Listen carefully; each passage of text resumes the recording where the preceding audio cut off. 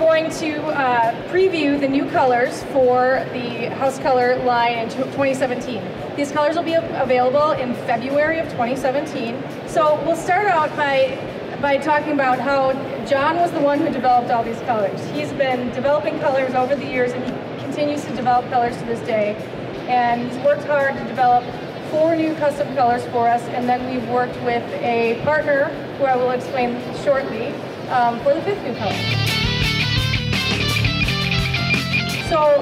Out with the blue indigo, which if you turn around, you can see the color right there on the 1929 Plymouth, uh, built by Andrew Ferris. It's a beautiful blue that's got a, a nice uh, indigo side tone.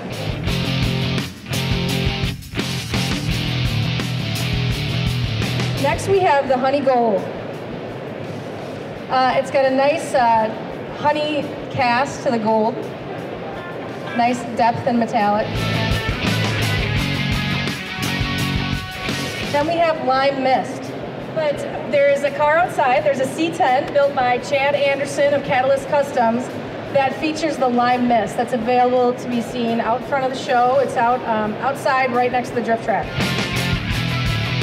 The next one is Don Juan Rose which is a fun color. It's, it's a nice pink, interesting pink. Uh, pink's been requested lately a lot. It's got a nice blue side tone. That's our new Don Juan Rose. Then the last color uh, was designed by uh, Joe Martin and Shorty Ponce of Martin Brothers Customs. As you can see them on the Velocity channel, the show Iron Resurrection.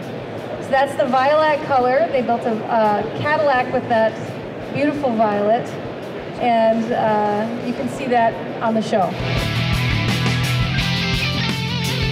So those are our new colors. Again, they'll be out in the spring. We call, we call them the limited edition colors.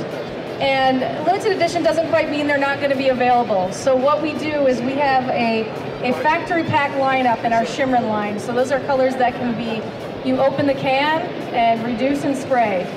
Then we have our Shimrin 2 line, which is an intermix line. The opportunities for color are endless.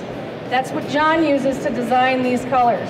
So these colors are all compliant coast to coast and will be available for two years in a factory pack and after that they'll be available to be mixed in the Shimrin 2 intermix system so they will never truly go away.